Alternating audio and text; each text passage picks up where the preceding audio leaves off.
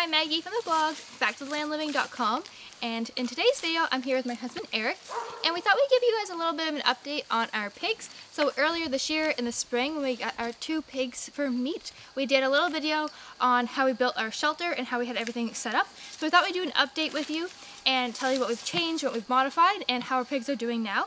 So currently we have changed our watering setup from the first video and our fencing setup. So for our fencing, we originally just had them, and behind us here you could see it was a solid fence, and that's how we had it set up. But since then, we've trained them to the electric fence, and we have them now outside in an electric fenced-in area, but they can still get into their old shelter if they want to get in out of the rain, which they do sometimes, but most of the time they actually stay outside. They sleep outside, they really like it. And so what we originally did was to train them to the electric fence, Eric strung up inside of the shelter a little piece of electric fencing, and we just did it on one side, and when they touched it, they learned to back away from the fence. So that's taught them to respect the fence and to not go through it when they get shocked, but to back away from it. And so the first time they get shocked, they like ran to the other side and didn't even go near it. So they learned pretty quick. It took about one yeah. shock to learn, don't touch the fence.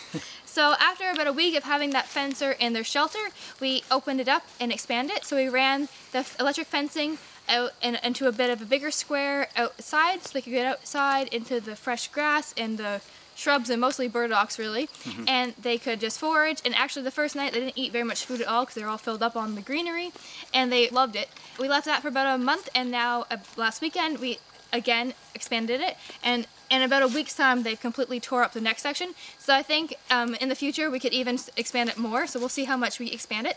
But we thought Eric would go over, he has set up all the fencing so it's solar and with a battery and so we thought we'd go over how we have that all done for you guys. So our pig fence setup is pretty simple. It's an electric fence. So basically we have three parts to it. We have the fence charger itself, which is a 12 volt DC uh, charger, and its uh, power is 2 joules, and it's good for up to 200 acres, which is more than enough for having pigs. And basically, all you have is a ground wire that goes to the ground and into a grounding rod, which I pounded into the ground. It's in about 4 to 5 feet. And then this is our electrical wire here that is hot and so that just runs down to the insulator and basically you have to make a complete loop around to uh, make it work. It's very simple with a DC charger. All you have is where you tie in your positive wire which is the one that's hot and electric and you have your negative wire tie in here which is going to your ground and then you have your cable which has your two clamps that go up to the battery and so it's a very simple setup. So this is where the ground wire ties in on the post and here's just a piece of garden hose that we cut to go over the wire because this wire has to go into the ground with a metal post and a clamp and that way it completes your circuit. So basically the pig gets in contact with the hot wire, it goes through the pig's body and then into the ground and that's what shocks them. And so we have to have that and you have to have it protected so it won't short out. And then this is our hot wire here and it's wrapped around this post here and basically you just have to complete the circuit. So you have to have no breakage or anything in your wire and nothing uh, leaning up against it because it'll cause it to short out. And then we have our, our panel here, which I just made this little stand in the shop. Took me probably 10 minutes. And it's just on a 45 degree angle, so it gets lots of sun. And that's all we really need. It's very, very basic. And I just built this box out of scrap wood, basically. Now the battery is uh, solar powered.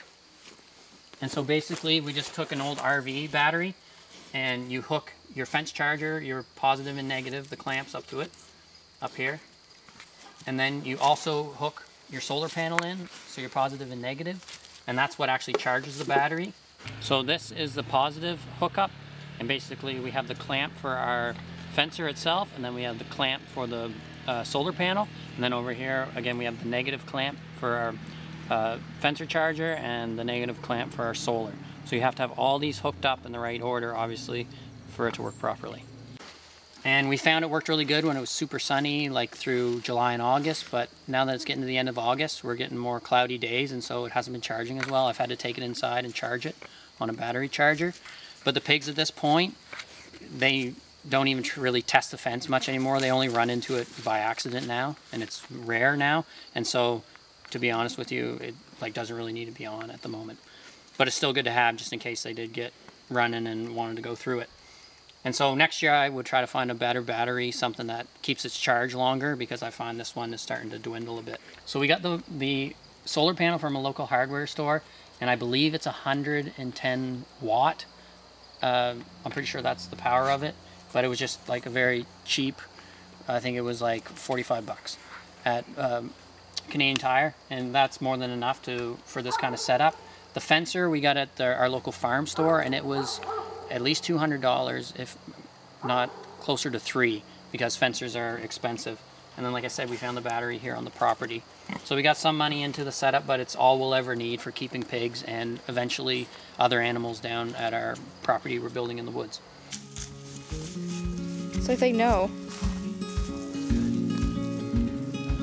I want. It works.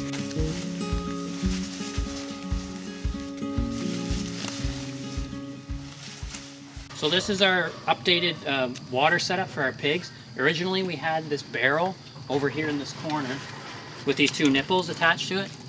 But I had a hard time finding something that hooked up good here because basically it was leaking around this area, all the water, and so the whole pig pen would basically flood with water and it was just a mess. And so I had to come up with something better and I, I saw one video where a guy hooked up some pipe onto a board similar to this and I thought that looked like a really good setup. And that way the, the water source is outside the pen so it's easy to work on because pigs are very uh, nosy animals and anytime I try to work in here with them they always are biting my tools or biting me or just a nuisance basically. And so what I've done here is I took a 2x6 board and what I did is I went to the plumbing section of local hardware store again and basically what I've got is a couple elbows that have um, places where you can screw in. And then what I've done is I've I found what fit this thread. Uh, I believe it's a three quarter inch. And then I got these elbows and some uh, PEX pipe they call it. It's basically plastic but you can you can bend it. So I got two lengths of that and I got some um, clamps here and then up here what I got was another uh, 90 degree elbow and this one had a thread on it. And what I found here is basically it's a large washer on both sides and a, a gasket and so therefore I could really tighten this down and I put some silicone on it for uh, extra uh, sealing.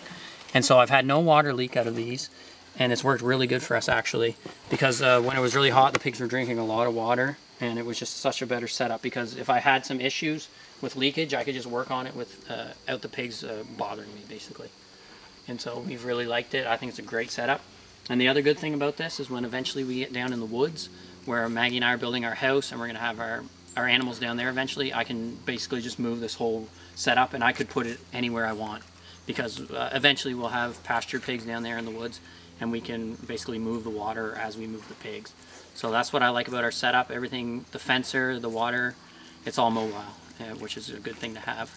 So this is the barrel that we keep our water in, and in order for our setup to work with the pipe and the nipples, we had to get it off the ground, so it's basically gravity fed. And so what I've done is I built a stand, again out of uh, scrap wood that I had in my shop or it was lying around the property. And basically it's made out of 2x4s, deck boards, 6x6s, basically whatever you can find, use. And all you have to do is get your water source up above where it comes out to the pigs. And it's worked great. It has plenty of pressure for gravity fed, you'd be surprised.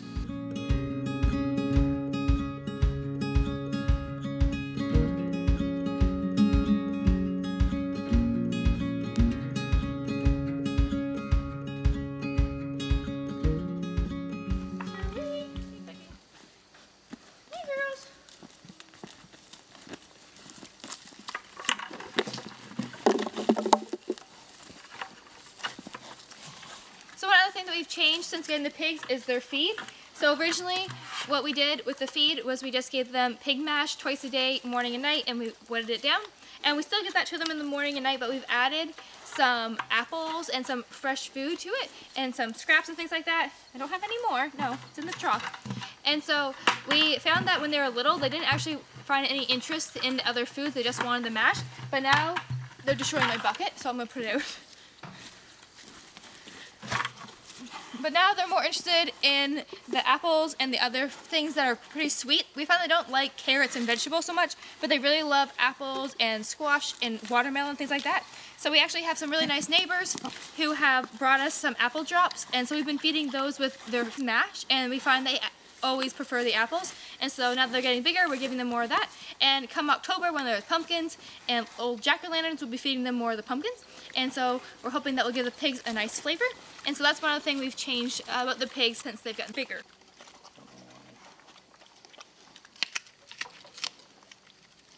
So those are all of our updates we thought we'd give you of our pigs. So if you are interested in seeing our original video, I'll link to that in the description so you can learn about the how we get everything set up originally. And we'll also be doing a video on when they get a bit older. I think we'll probably be doing a video on our processing potentially. Yeah. We'll see. It'll be our first year processing pigs ourselves, but we decided we were doing this to have homegrown meat and to save money and sending it to a butcher is expensive. So we have a friend that is in our church and he's a wise farmer who is going to show us how to butcher them. I went last year and learned.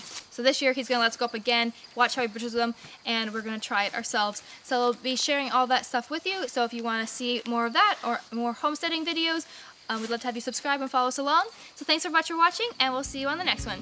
Bye!